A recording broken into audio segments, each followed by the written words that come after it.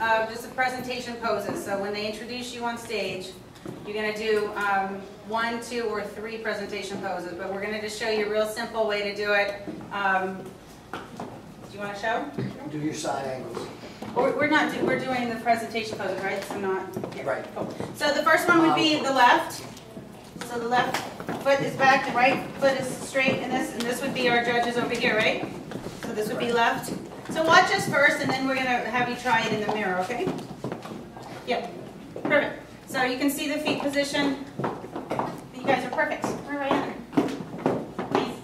Um, you can have a little tilt in your lo- lower back so that your booty comes around it, but again, that will be, um, that will be a- depending upon your physique too, how much you actually will do that or not, but that is a little bit of a help to make the glutes rounder and, okay, so then if we're gonna do the left side here, and then the right side would just be the opposite. So the left foot is in the back, and the right foot's in front.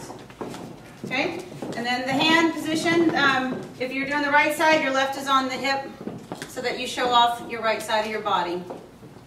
So, we can, and it doesn't matter, I mean, if you did the right hand up, it's not wrong. It's just, um, this shows off the body a little bit nicer with the lines if you have back.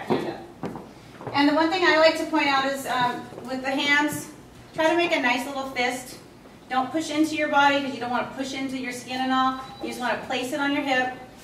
But it is a nice little fist, not too much of it. Because if your hands aren't, um, if you have your hands kind of dangling, then you end up having sometimes the pinkies hanging out and they kind of look distracted and um, off. So a little fist is nice.